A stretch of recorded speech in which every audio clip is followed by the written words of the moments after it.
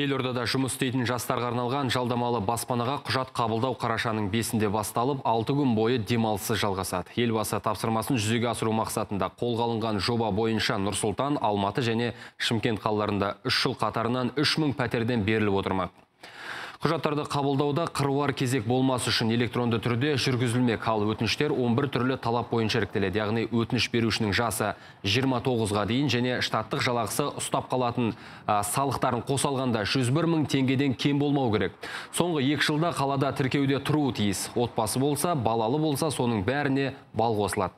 Соңында жастар бүкіл талап бойынша іріктеліп, ең көп бал жинаған 1050 адамға аумағы 30 бен 70 шаршы метр аралығындағы бір және екі бөлмелі пәтерлер беріледі.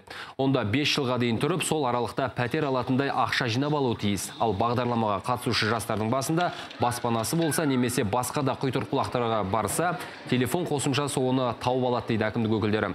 Айта кетейік, қазіргі таңда елордада 14 пен 29 жас аралығындағы жастардың саны 245 мың. Электрондық құжат арқылы смарт астанада бізде басқа да ә, мемлекеттік органдармен интеграция жасалған. Яғни сіздің жеке басыңызда баспана бар ма жоқ па? Бұның барлығы ә, осы базаға кіргенде ецп арқылы ә, шынайы түп нұсқа анықтамалар алынады.